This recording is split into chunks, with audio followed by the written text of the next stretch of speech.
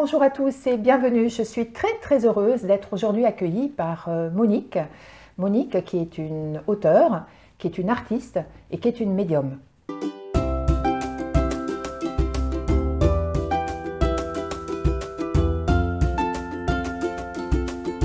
Bonjour Monique. Bonjour Olivia. Je suis très heureuse d'être là. Et moi, je suis ravie. Merci d'être venue à moi. Merci. Bah, écoutez, c'était un plaisir parce que je vous ai découverte.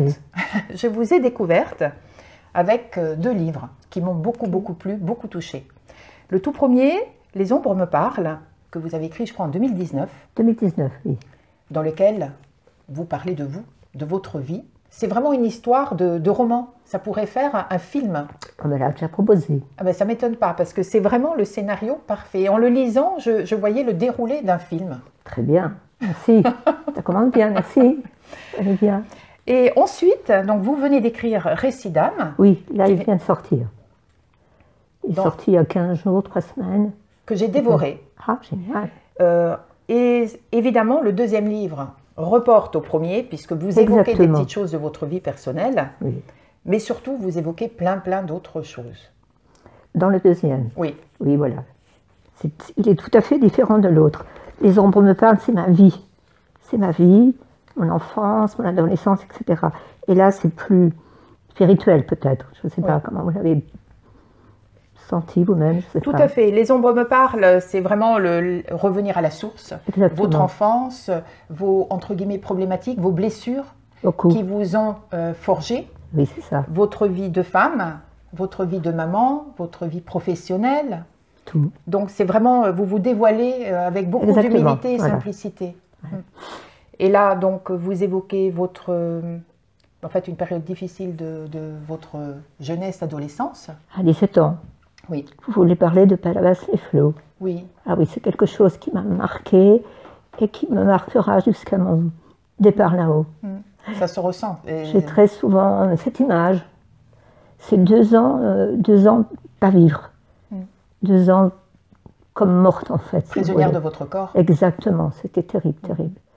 Et c'est là justement peut-être que votre mental a pris une certaine... Oui, j'avais déjà des petites choses, mais je n'étais pas, j'étais jamais sûre de moi déjà, mais j'avais des petites choses, des petits flashs, mais je ne savais pas à quoi les attribuer. C'est vraiment à Palavas, en étant allongée, euh, ni levée, ni... Euh, mm. J'étais toujours allongée pendant deux ans, pendant 24 mois exactement. Donc je pense que ça a mûri, mûri, et toutes mes compagnes de misère, j'appelais me posait des questions et j'avais des flashs, je commençais bien. Voilà. Donc je me suis dit, mm. tu dois avoir quelque chose. Mais jamais de certitude, c'est pas facile. C'est pas facile de croire à un don. Et je voulais pas leurrer, je voulais pas inventer, je voulais pas. Mais là, j'ai compris que vraiment, je n'étais pas comme les autres, je me trouvais anormale. Mm. Oui, ça vous tombe dessus, vous dites, qu'est-ce qui se passe, quoi? Surtout quand vous annonciez des choses ah de façon instinctive et spontanée et qui se réalisaient ensuite, c'était assez perturbant. C'était le début, donc ce n'est pas des, des Mais mm. quand même, avec mes camarades, de, mm. j'avais beaucoup de flashs. Ça concernait beaucoup notre maladie, notre progression euh, ou leur famille. Mm. C'était encore léger, quoi. C'était pas. C'est le début, c'est le début vraiment. Une chose que j'ai remarquée pour toutes les personnes qui ont beaucoup d'intuition, c'est que leur fragilité, leur blessure euh, presque affective euh, par rapport à la famille, par rapport à un manque d'amour, par rapport beaucoup. Oui, je sais. C'est pour ça que je beaucoup, beaucoup, oui, oui. Ça vous ouvre beaucoup à l'autre. Oui, exactement, c'est ça. Et malgré tout ce que j'ai pu écrire et parler de ma mère, mm. elle est partie en 2004, mais je me dis, mais je l'aime quand même. Mm. Vous voyez, je veux dire, je pardonne. Heureusement. Je lui pardonne. Mm. Elle, a, elle était d'une famille de 18 enfants. Elle a, voilà, je veux dire. Euh, elle n'a pu donner que ce qu'elle avait eu. Exactement. Mm. Mm, bon, c'est dur quand vous êtes enfant de. Vous êtes à la merci. vous, vous voulez un baiser, vous voulez un, câlin, vous, vous n'avez rien, jamais. Voilà. J'ai survécu la preuve. Ah oui, même bien. Et bien, vous avez bien su rebondir oui, à chaque fois. Oui, oui, je remercie là-haut. Je me dis c'est eux qui m'ont aidé de toute façon. Mm. Avant de parler euh, de la médiumnité, euh, vous avez été très attiré depuis le début, je pense, depuis par les plantes, par tout ce qui était euh, nature. Oui, toujours. Et vous avez eu la chance de travailler dans ce milieu Oui, j'ai eu beaucoup de chance dans un laboratoire euh, dans le Midi, mm. à Saint-Vincent-sur-Jabron. C'est peu connu. Et là, j'ai fait plein de stages. Euh, c'était génial pour moi, génial. Ça m'a ouvert à toutes les huiles essentielles. C'était le début, hein. c'était vraiment le début. C'était une espèce de liberté pour moi. C'était une liberté. D'ailleurs, le site était. Le site, c'était des fleurs, euh, des lavandes. C'était.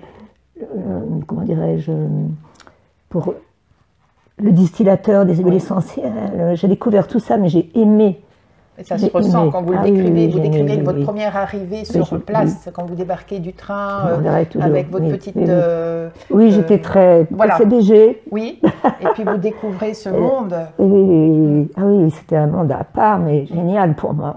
En fait, c'est ce qu'il me fallait. Pour retrouver votre équilibre. Pour retrouver mon équilibre. Et votre indépendance aussi. Beaucoup. Mm. Ça, j'ai aimé, j'ai adoré.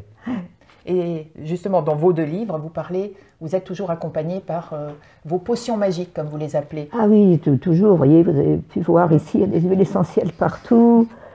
Et je soigne, moi, je me soigne toujours d'huiles essentielles. Mes enfants, mes petits-enfants, enfin voilà. Et souvent, on me demande une petite recette que je donne mm. facilement. Mm. Oui, oui, j'étais. J'aurais aimé faire mon métier de ça. Mm. Mais vous le faites de façon ça. Mais bon, voilà, indirect, voilà, parce que je suis un peu tout. Un peu de magnétisme, un peu d'hypnose, mais du, parce que ce don me permet de faire l'hypnose.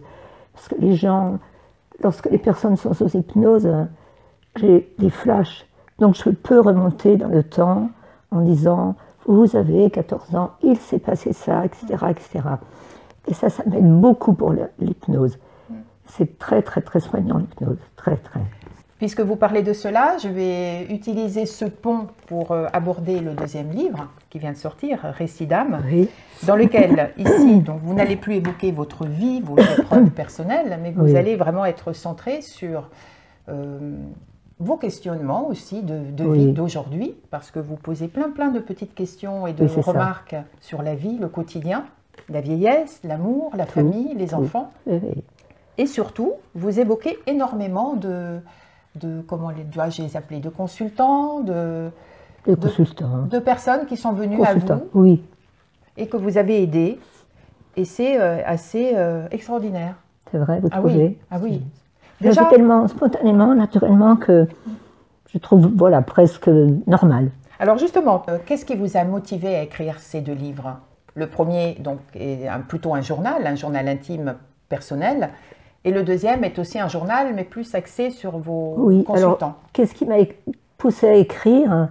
Parce que je fais le bilan de ma vie. Arrivé à un certain âge, je fais le bilan. Je me dis pourquoi, comment? J'ai eu une vie riche en fait après. J'ai une vie riche, j'ai une vie remplie, j'ai une vie faite de rencontres, de, rencontres de gens bas de l'échelle, haut de l'échelle. Mais moi, je prends tout le monde. Voilà. Pour moi, les uns, les autres sont tous pareils. Je ne fais pas de différence et je reçois tout le monde. Donc je me suis dit, pourquoi ce don? Pourquoi cette vie? Il faut que je l'écrive. Mais en fait, j'écrivais pour moi. Hmm. J'écrivais la nuit, je dictais, j'ai pleuré, je ne vous dis pas combien de fois la nuit en me disant ça, je pleurais, je dictais, et le lendemain, je me disais, pourquoi j'ai raconté ça? Et en fait, ça m'a fait un bien fou. Hmm. Ça m'a fait... C'est comme une thérapie. Oui. Voilà. L'histoire de ma mère, je ne voulais pas trop l'écorcher, parce que... Mais il fallait que je le dise. Et je me dis, pourquoi j'ai ce don, en fait? Pourquoi de la famille on m'a choisi? Peut-être parce que j'ai eu cette vie-là. Parce que deux ans euh, partis, allongés, parce que ma vie, elle était quand même pas facile avec ma maman, même si je... Et puis, puis après, j'ai eu tas de choses, je veux dire. Ah oui, je n'ai pas été gâtée, mais j'aime la vie quand même. Mm. Voilà. Donc c'est pour ça, je me suis dit, allez, je laisse une trace. On verra pourquoi, parce qu'on me dit souvent Vous avez vu ça? Vous avez vu ça? Ben, Je viens de le voir à l'instant, voilà, j'ai vu ça. Mais pourquoi Comment? Moi aussi, je me pose encore des questions aujourd'hui. C'est tellement précis. Alors, quand vous voyez justement, parce que vous parlez souvent d'un tableau blanc.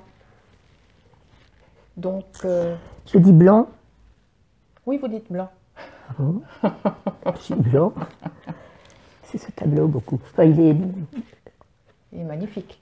Ah, donc celui-ci, vous ne le vendrez jamais Non, on l'a déjà demandé plusieurs fois euh, à des prix, je ne vous dis même pas.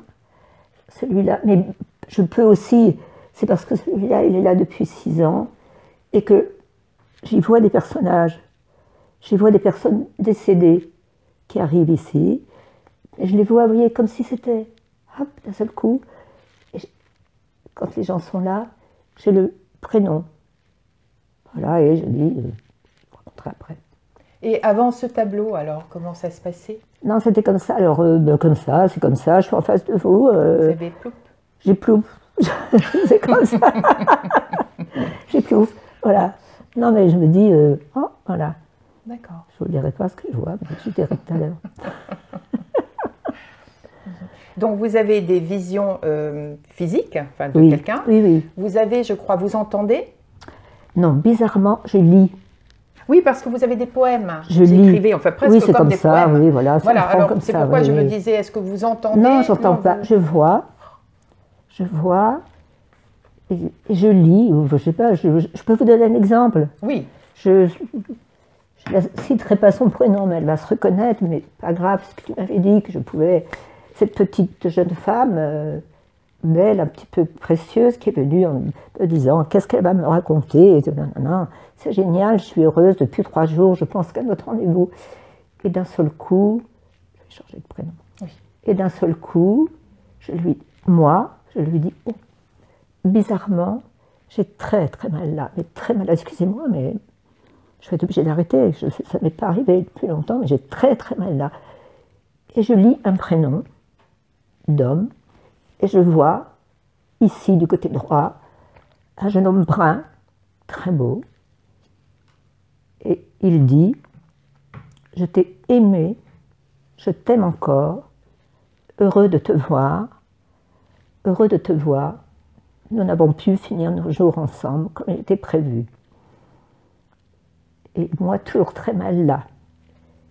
Elle pleure, pleure beaucoup, me prend dans ses bras elle me dit, c'est mon ami Pierre qui a été tué au Bataclan par une balle ici. Mm, mm. Donc moi je suis aussi, moi c'est pas non plus euh, sans conséquence pour moi, c'est dur. Cette femme qui pleure, qui mm. arrive tout, qui prend, qui, je la prends dans mes bras, on pleure. Donc c'est des émotions, c'est dur, c'est pas comme ça, c'est pas voilà quand on me dit, par exemple, quand je suis quelque part, faites-nous une petite séance. Non, je ne suis pas une comédienne de spectacle. C'est comme ça. Ça vient, ça vient pas. Là, voilà. D'ailleurs, vous dites plusieurs, à plusieurs reprises, je crois, dans les deux livres, quelque chose qui m'a beaucoup plu, entre autres, puisque vous dites, ce sont eux qui viennent. Oui, je oui. Voilà, parce qu'il y a hum, cette sorte de fantasme d'appuyer sur un petit bouton, ah oui, et oui, hop, ça, on est Chanel, on est en contact direct. Et là, vous le dites tout le temps. Vous dites ils viennent ou ils ne viennent pas? Mais je dis toujours parce que les gens, j'essaie de renommer depuis des années en disant elle parle aux défunts. Hmm. Il m'arrive de n'avoir personne, de n'avoir personne. Hmm. Donc je, ils viennent, ils viennent souvent, mais pas tout le temps. Oui, parce que quand les personnes viennent en consultation, parfois euh, vous avez l'air de dire qu'on vient à l'improviste, on passe par là, le hasard fait bien les choses, moi aussi je viendrai par hasard, on sonne à la porte. Et oui, oui, oui, voilà, c'était comme ça, oui, c'est ça, oui. Oui, je suis quelqu'un de, voilà, j'étais un bon enfant. Euh, oui, mais donc il peut n'y avoir rien du tout à la clé. Ah, oui, après j'ai des petits flashs, mais pas... Mm. Quand j'ai vraiment le personnage et les choses graves, ce sont des choses graves, ça m'affecte beaucoup. Après une voyance, je suis lésivée, quoi. Mm. C'est pour ça que j'ai du mal à comprendre les gens qui font 10 voyances par jour. Mm. Quand on a fait une, c'est énorme. Mm. Et des fois, je me repose pendant 3-4 jours. C'est pas, c'est pas quelque chose de. Non, ah non, non. Alors là, ça me ramène donc à vos plantes, sur lesquelles vous vous basez beaucoup pour euh, vous, vous renforcer. Oui. Vous, avez, vous utilisez également des petits moyens, le pendule. Beaucoup. C'est beaucoup de pendule, oui, oui, oui, beaucoup. C'est pour confirmer mes dires. Quand je dis, tiens, je vois ça, vous n'allez pas faire ça, ou tu vas pas réussir, je me dis, ce que j'ai bien vu, donc je prends mon pendule et je parcours. Ah oui Oui, je vais le montrer. Alors, j'y suis là. Oui, vous aviez donc, vous parlez de vos trois pendules en bois. Vous n'avez plus. Ah, c'est pas. C'était un petit grand-père gentil qui m'avait fait ça. J'ai ça. Ils ne sont pas tous là. Celui-là, c'est un de mes plus anciens, je l'adore. Alors celui-là. Je ne pas le toucher. Oh, vous pouvez. Non, après, s'il y a le magnétisme, parce qu'on va évoquer aussi votre magnétisme. Mm. Alors, chose très bizarre, mais il n'y a pas longtemps, il n'y a pas très longtemps, il y a 5 ou 6 ans. Alors, vous voyez, celui-là, l'autre, je ne l'ai pas ici. Vous les choisissez au hasard, comme ça Oui, comme ça. J'aime celui-là, j'adore celui-là. Mhm. Celui-là, si vous voulez, comme les chaînes, s'il y a quelque chose de très grave, il se noue. La chaîne se noue, là, là. Et ce dernier, quelqu'un qui est venu il y a 15 jours, m'a posé la question est-ce que 2023, il y aura des morts dans ma famille? Il y aura des morts dans la famille. Drôle, de question, mais pourquoi pas Voilà. Et j'ai répondu deux. Et elle était ici. Elle m'a dit Oh, le pendule, oh, c'est bizarre, deux nœuds. Il y avait deux nœuds. Elle a voulu, pour être sûre, les dénouer elle-même. Parce que même moi, j'ai toujours des doutes, c'est difficile. Vous avez toujours peur de leurrer. Les gens viennent, font confiance et. Bon, pour l'instant, l'année 2023 vient de commencer, donc. Mm. Voilà. Mm. Et vos dons de magnétisme, racontez-moi. Parce qu'en fait, toutes vos capacités, elles sont venues peu à peu. Elles sont venues peu à peu. Et comment les avez-vous découvertes? Parce que je crois que votre grand-père était sourcier. Quand il était sourcier, mais bon. Mon grand-père était très. On, le voyait toujours avec sa baguette, euh, machin, et on lui disait Qu'est-ce que tu fais? Cherche de l'eau Mais sans explication à l'époque, euh, je ne même pas parler de ça en fait. Donc je pense qu'il y a de ça, je, crois qu'il y a de ça, mais je pense qu'il y a aussi surtout euh, ce vieux magnétiseur qui m'avait. J'ai vieux, c'est pas péjoratif, mais il y a tellement oui, oui. longtemps. Sauver la vie oui. oui. oui. parce que ça, je ne l'ai pas évoqué tout à l'heure. Oui, oui, oui, c'est ça. Toute petite, vous avez failli On m'avait dit que je n'avais pas. Oui, oui. Il y a ça, et il y a Madame Soleil. Madame Soleil qui a pratiquement tracé toute ma vie. Elle était astrologue, voyante, et les lignes de la main, regardez, je parle, regardez, je parle de magnétisme, regardez mes mains, je ne peux pas les inventer. Ah oui. C'est, tiens, voilà. Mm. Mes mains rougissent, mm. mes mains se creusent parce que je parle de magnétisme. Jusqu'alors, oh. elles n'étaient pas là. C'est un truc de fou. Mm. Tu peux les photographier. Non, mais j'ai. Et ça me brûle parce que je parle maladie, magnétisme. Et je vois où? Je vois où, je vois. Euh, j'ai découvert des, tumeurs. Euh, pas, toujours, je ne suis pas non plus. Euh, là. Puis je ne suis pas médecin surtout. Mais quand je vois quelque chose qui me dérange, je dis. Allez passer une radio, allez passer. Voilà. Oui, parce que ça aussi, c'est très très étonnant dans le récit d'âme, votre dernier roman. Ah. Roman, livre. Oui. mais qui se lit comme un roman le roman de votre vie, oui. c'est que justement, quelque part, c'est ce qui m'a dérangé, ou plutôt fait de la peine pour vous, c'est qu'il n'y a pas de repos. Non. Et d'ailleurs, vous le dites, c'est-à-dire je voudrais être libérée de temps en temps de ce oui, poids. Voudrais, oui, Parce que vous êtes dans une salle d'attente, je pense, voilà, vous en parlez. Mm. Vous êtes sur un banc le long de la plage, quelqu'un s'assoit à côté de vous. C'est-à-dire, et vous voyez, malgré vous, mais, mais bizarrement, ça ne dérange pas. Oui. Oui, je me souviens, j'étais jeune, j'étais partie dans un club de vacances avec mon fils, mes fils, ce jeune homme qui me suivait partout, au petit déjeuner, au dîner, à la piscine, je me disais, mais qu'est-ce qu'il a Et, j'ai vu, à un moment, il, était jeune, il avait peut-être 30 ans, je ne sais plus, il était jeune, et en fait, il avait une leucémie. Mm. J'ai découvert ça, donc on a parlé, m'a suivi toute. Euh, Pendant toutes les vacances. Voilà, mais bon, je, je pense que je lui faisais du bien. Mm. Ça, c'est pour ça. Oui, parce que vous avez souvent des, des, rencontres comme ça récurrentes de personnes euh, à un moment donné de J'ai beaucoup voyagé parce que j'ai aimé ça. Et j'avais un fils qui m'a donné le, goût du voyage, parce qu'il était parti, il a fait 31 pays ou 32 pays, je ne sais pas. Donc j'allais le voir, c'est l'occasion en fait. Et je crois qu'à chaque fois, j'ai croisé. Euh, oui. Je suis là. Oui, parce que vous avez une belle expérience aussi. Oui, euh, je ne sais plus dans quel pays, avec un arbre, le ah. tronc ça, c'était une expérience folle, folle. Au Sénégal. Hmm. Oui, c'est ça. Baobab sacré. Oui. Ça, ça a été un truc de fou. Je, le revis. Vous voyez, là, hmm. je ne vous vois plus. J'ai le baobab, j'ai hmm. toute la poussière des gens qui venaient me voir, qui me touchaient. Ce vieux sorcier qui venait, ce vieux sorcier qui me parlait en Wolof, mais il avait un interprète. Oui, c'est fou. Et les coups ils vous, ont, ils vous ont reconnu comme. Oui, il m'a dit, mais tu, oui, oui, il m'a dit, euh, pas que tes mains, tes yeux, guéris. Ah, peut-être, voilà, c'est fou, hein. Mm. C'était presque trop, parce que moi, je, je trouve c'est naturel, j'ai pas envie d'avoir les honneurs, quoi. Mais là-bas, j'avais les honneurs. Là-bas, c'est très. C'est naturel. C'est naturel là-bas. Mm, mm. Et ils vous ont donc donné quelque chose que vous avez ramené Ils m'ont donné de, de l'écorce de baobab, je me souviens. Il a fait un espèce de petit étui en bambou. Il m'a dit c'est pour toi, garde-les pour les gens que tu aimes vraiment, qui vont.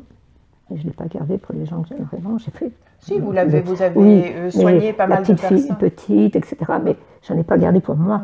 Mm, mm. voilà, je ne pensais pas que j'en avais pas ramené beaucoup, donc euh, mm. c'est fou, hein, ça. Ça, c'était une super expérience. Ce sont des choses qui restent gravées. Euh, j'ai commencé, pour être honnête avec vous, par Récidam, votre dernier livre. le deuxième. Qui a renvoyé très souvent dans des événements, vers des événements de votre vie personnelle qui sont évoqués dans votre premier. Oui, voilà, où je rappelle euh, quelques faits quelques faits exactement de votre enfance, de votre famille. Et j'avoue que bah, j'étais interpellée. Je me suis dit, tiens, qu'est-ce qui s'est passé? Que s'est-il passé à Pavlas-les-Flots Que s'est-il passé avec sa maman? Voilà, d'accord. Le mariage et autres. Et donc, j'ai eu envie de lire. Le mariage, c'était quelque chose aussi. Hein. Pardon? Le mariage, c'était quelque chose aussi. Ça, c'est. Hum. Ça fait partie de. Mais non, mais vous avez pardonné. voilà. oui, j'ai pardonné, mais ça fait partie de quelque chose qui a marqué longtemps. Hum. J'imagine. Je suis mariée quand même. Et Madame Soleil m'avait dit petite, ne te marie pas. Et je me suis quand même mariée. Je ne l'ai pas écouté. Oui, mais le libre arbitre, Monique. oui, c'est pour ça. Oui, c'est ça. vous pas évident, mais hmm. voilà. Pour apprendre, et puis Madame Soleil, vous auriez pu vous dire elle s'est trompée, elle me raconte n'importe quoi. Oui, ben voilà, c'est pas évident. Pas vous ne pouvez pas hmm. suivre non plus les yeux fermés. C'est ça, oui. D'ailleurs, danger aussi. Euh, c'est un petit message que je lance à certains d'entre vous il y a le libre arbitre aussi, donc il ne faut oui, pas c'est ce que je leur dis toujours. Je dis toujours, quand si les gens viennent pour une future situation, un chemin de vie, je dis, voilà, moi je vois ça, je ferai ça, vous, réfléchissez, voilà. Hmm. moi je vois ça, après vous pouvez faire autre chose. Hein. Et ça marche en principe pas mal. Oui, parce qu'il ne faut pas non plus euh, faire ah confiance. Alors, on en parlait tout à l'heure hors caméra. Vous, vous n'avez jamais eu de cours, vous n'avez pas ah eu de formation Non, non, jamais, rien du tout, rien. Ni de cours de magnétisme, ni de cours de voyant. Non, non, c'est venu comme ça. Je veux dire, oui, plusieurs personnes me disent j'ai un don. Bon, je ne sais pas, je ne vois pas. Vous voulez voir Faites-moi un petit coup de pendule, j'ai un don. Bon, mon pendule, il dit souvent non, mais elles veulent euh, s'installer, elles en ont marre d'être euh, qui à la banque, qui euh, faire du commerce, qui, donc elles veulent. Voilà. Donc je trouve un peu dans l'excès, mais je ne vais pas juger. C'est en leur âme et conscience. Mm, mm. Voilà. Les voyants sortent de partout, mm. mais bon. Ce sont les non-voyants qui deviennent rares maintenant. oui, c'est vrai, tout à fait ça. Vous faites de l'hypnose? Oui, je fais de l'hypnose. Alors, quel ça, est ça j'ai appris. Euh, de J'ai soigné, euh, par exemple, pour la cigarette, ça marche très très bien. Hein. Pour perdre du poids, pour une dépression nerveuse. Beaucoup, même, j'ai beaucoup d'enfants de 12 à 15 ans, l'adolescence difficile. Euh, voilà. Et moi, j'ai une chance en hypnose, donc lorsqu'ils sont sous hypnose, je remonte dans le temps. Donc en fait, ça se fait à deux? La personne vient vous voir Oui, je l'allonge. Moi, je le fais comme ça parce que j'ai appris comme ça il y a très très longtemps. Maintenant, les gens font un petit truc d'une de, semaine, ils sont hypnothérapeutes, etc. Moi, j'ai appris avec le temps. J'ai appris, hein, pas. Mais mon don rajoute à ça. Ça veut dire quand ils ont les yeux fermés, ils sont sous hypnose, ils me disent j'ai un problème, je ne peux pas vous en parler, c'est trop dur, euh, etc. Et moi, je remonte dans le temps et ce petit jeune, vous aviez dû peut-être lire, je ne sais plus, sur, qui avait été abusé par son frère, Oui. Et qui m'a dit Vous êtes mon dernier espoir. voilà. Mm. Et quand je lui ai dit Vous avez 15 ans, je remonte la naissance, vous avez 15 ans, vous avez 15 ans. Mm. Son corps tremblait. Mm. Il était sous hypnose, vraiment. Vous avez 15 ans, vous avez... et je lui ai décrit, moi, ce que je voyais. Mais ça, merci mon Dieu, c'est mm. à cause de mon don. Sinon, je n'aurais pas vu. Si vous êtes hypnothérapeute, euh, voilà. Oui, là, vous Donc, ça m'a beaucoup aidé. C'est pour ça que j'ai voulu faire de l'hypnose aussi. Voilà. Donc, je l'ai délivré de tout. Hein. C'est magnifique. oui, après, il avait une vie, il a compris pourquoi il était comme ça, pourquoi, voilà. C'est beau. Oui, oui, oui. Je, dis toujours merci là-haut. Mm. Ah oui.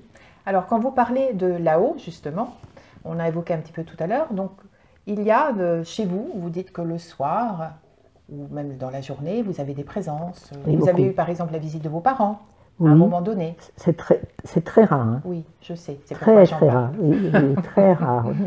Oui, oui. mes parents. J'ai eu euh, Sœur Emmanuel. Oui. Pierre. Quelques, oui, mais c'est très bref, si vous voulez, c'est pas, voilà. Non, mais sinon, le soir, dans cette maison, on sent, vous ne sentez pas qu'il y a... Alors, les gens me disent, on est bien, on est oui, on sent la chaleur. On sent la chaleur, on sent le silence, on sent... On sent moi, je me sens protégée. Mm. C'est plein. Oui, on sent, c'est comme ça. Mm. Et les gens me disent, oh là là, ils viennent presque tous de Paris. Mm.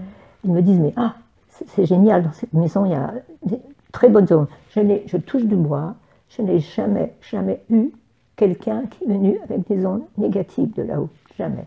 J'allais vous poser justement la question. Parce que vous vous protégez. Vous dites, je me sens protégée, mais est-ce que vous vous protégez vous-même? Ça veut dire que non, je ne me protège pas réellement parce que je me sens protégée ici. C'est juste quand je vais du magnétisme ou quelqu'un est venu. Euh, je, après, je vais passer les mains sous l'eau, comme ça, froide. Mm. Je vais entourer les arbres de mon jardin et je suis ressourcée. Voilà, c'est heureusement, sinon. Euh, il y a des bruits qui me dérangent quand même, même maintenant, en ce moment. En ce moment, je ne sais pas ce qu'ils ont, mais on dirait que ça monte des escaliers. Euh, souvent, ça. ça je, j'ai pas peur parce qu'ils vont pas me faire de mal. Je dis, mais vous me dites, euh, cette maison est quand même un peu habitée. C'est fou, hein Ou j'ai un, où je me lève le matin, j'ai un tableau tout retourné. Enfin, j'ai, oui, j'ai une amie qui a dormi ici l'année dernière, qui me dit euh, J'ai très très peur de dormir chez toi, mais bon, je lui dis Il ne se passera rien. voilà. Et la nuit, on a été réveillés par. Euh, c'était 2 heures du matin. Elle m'appelle Mimi Mimi, Mimi, vite, vite, vite Il y a quelque chose qui est tombé, je ne sais pas où. Et en fait, c'était ici. C'était un crucifix qui était tombé là. Et elle avait emporté un tableau et une lampe. Et après, on a compris pourquoi. Parce que vous avez aussi une expérience, je crois, avec une plume blanche. Oui, que j'ai toujours, que j'ai toujours, que sur ma, dans ma table de cuisine, j'étais en train de peindre. Je peignais. Oui, parce que ce que nous allons évoquer tout à l'heure, voilà, c'est votre casquette d'artiste, de peintre également. Donc euh, la nuit, vous avez des intuitions, des envies de peinture. Oui, c'est pas que la nuit, dans celle que je me dis, j'ai l'image. Voilà, je vais être en train de décrire. J'ai l'image d'un tableau des fleurs, des, je ne sais pas quoi. Je me dis, oh là là, ils vont me faire peindre. Parce que c'est la nuit, en fait. Mm. Donc, je, me, je vais au lit quand même, je dis, oh non, non, j'ai pas envie de peindre, j'ai pas envie, quoi. Mais je me lève et je peins.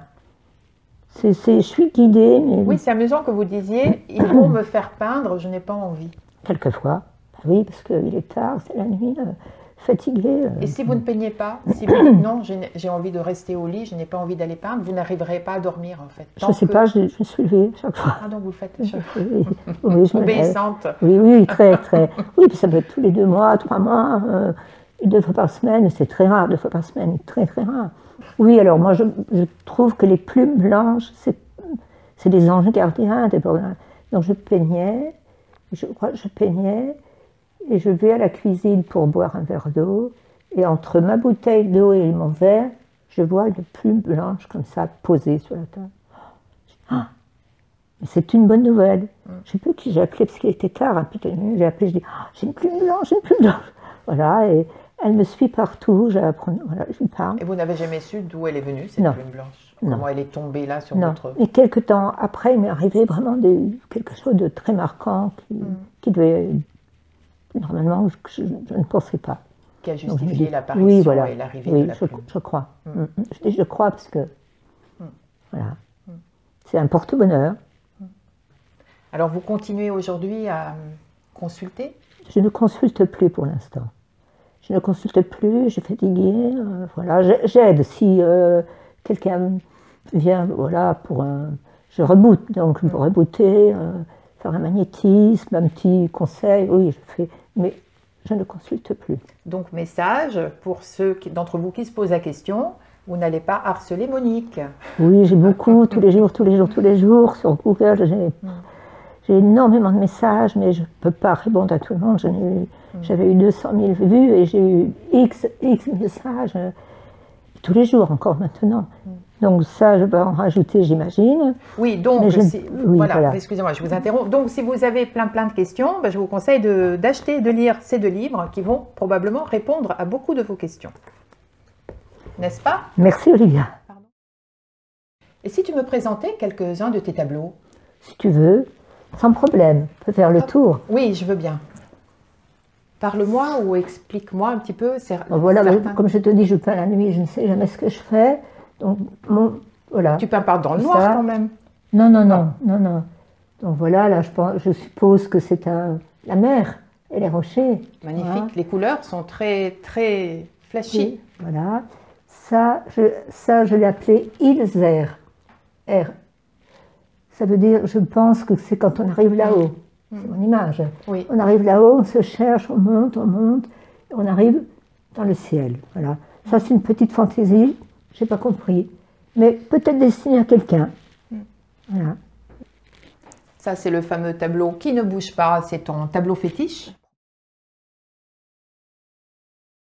Là, j'ai mis pratiquement une semaine pour le faire. Je l'ai fait, refait, passé, repassé. Je l'ai appelé chemin dansant. Dansant, comme de l'encens en fait, tu vois. Comme si c'était quelque chose de magique, de, tu vois, d'irréel. Mm. Moi, je l'aime bien. J'aime les couleurs surtout. Et elles sont très belles, ça c'est vrai. Ce n'est pas moi qui vais te dire le contraire. À Barbizon, il y a nombre d'années, j'ai eu le prix de la couleur. À Barbizon. J'ai été contestée parce que je n'avais pas fait les beaux-arts. Bon. Ce n'est pas grave, laisse-les parler, laisse-les dire. Oui. Là, je vois, je vois un tableau magnifique, magnifique. Celui-là, il est, il n'est pas tout jeune, il y a longtemps que je l'ai fait. Combien de temps as-tu mis pour faire cette merveille Peut-être 15 jours, si tu veux, tous les... Oui, 15 jours. Hmm. J'ai dû me reprendre en X fois. Alors pour moi, mais c'est moi, il s'appelle Un soleil blanc les illumine. Mm. pour moi, je pense que c'est là-haut. Mm. Parce que je me souviens avoir peint l'homme d'abord, et le lendemain, pas le lendemain, mais qui pouvait être des, quelques mois plus tard, comme si son épouse ou son, il attendait quelqu'un. Il attendait quelqu'un, mm. comme si il se retrouve là-haut. Voilà. Pour moi, ah, c'est magnifique, magnifique. Les couleurs sont belles. Mais tout, tout est beau. En fait, mm. euh, j'ai des frissons, tu vois, parce que tu, ressens euh, quelque chose, une énergie très forte. Alors, je pense que ce couple s'est retrouvé. Mm, c'est très beau. Très romantique, très fort. Euh, j'aime beaucoup, beaucoup. Et puis, tu as d'autres styles. Totalement différents, là. Chemin de la Lune. On va savoir pourquoi. C'est une lune. Mm. J'ai appelé Chemin de la Lune, voilà. J'aime les couleurs aussi. Magnifique. Et donc, tu dis que tu n'as jamais pris de cours? Non, jamais, jamais. Waouh. je pense que si j'avais pris des cours, ce serait bien dessiné. Alors ça, je l'ai appelé, oh. je l'ai appelé Voyage au bout de nous. Oui, et qu'est-ce que... Et lui, je l'adore, je l'adore. Bah, tu vois, regarde, on, dirait des silhouettes. On a l'impression que c'est des silhouettes qui avancent, qui avancent, qui avancent, comme s'ils se sauvaient. Et hop, d'un seul coup, ça arrive au bout, au bout du bout. Alors ça, j'ai pas compris pourquoi faire ça. C'est très beau. J'aime beaucoup. Les couleurs sont très belles. Et puis. Hmm. Alors, je l'ai appelé Naissance des illusions. Waouh. Pourquoi? Je ne sais pas pourquoi. Tu vois? Qu'est-ce qu'il évoque pour toi aujourd'hui quand tu le regardes comme ça? Justement, maintenant que je le regarde, parce qu'il a à peu près deux ans, je l'ai gardé pour moi parce que je l'aime. Hmm. Maintenant, il n'y a pas longtemps que j'ai mis ici, il était dans ma chambre. Et maintenant, je me dis, mais pourquoi j'ai appelé naissance des illusions? Je ne sais pas. Je ne peux pas te dire ce que je ressens, mais c'est quelque chose qui m'apaise, pas toi. Tu sais à quoi je pense quand je regarde ces deux tableaux? Non, pas du tout. Pas Un paysage d'Afrique. Ah, avec les couleurs. Oui, les, couleurs, et puis également euh, ces silhouettes, un peu style guerrier Maasai, tu vois, grand, longiligne. c'est ça. C'est un petit peu ce à quoi j'avais pensé. Et tous ces tableaux, ils sont en vente ou tu les gardes? J'en ai gardé quelques-uns, évidemment, mais euh, je, les vends. je, les vends. Donc, s'il y a des personnes qui sont intéressées, elles peuvent te contacter tout simplement? Absolument, oui. Tous. Celui-là, il n'est pas mal non plus. Mm. Celui-là, je ne l'ai pas la nuit du 15 août. Et je trouvais symbolique. Je te remercie beaucoup Monique pour ton accueil, ta gentillesse. J'ai été ravie de te rencontrer en vrai parce que je voulais absolument partager avec toi le bonheur que j'ai eu de lire déjà ton livre, ton histoire et admirer de près tes beaux tableaux. Merci, moi je suis ravie de cette rencontre. Merci beaucoup. J'espère que vous avez aimé cette vidéo. J'espère que vous allez peut-être avoir envie de mieux connaître la vie de Monique en lisant ses livres, que je trouvais passionnants. Et s'il y a parmi vous des amateurs de tableaux, n'hésitez pas à la joindre. À très bientôt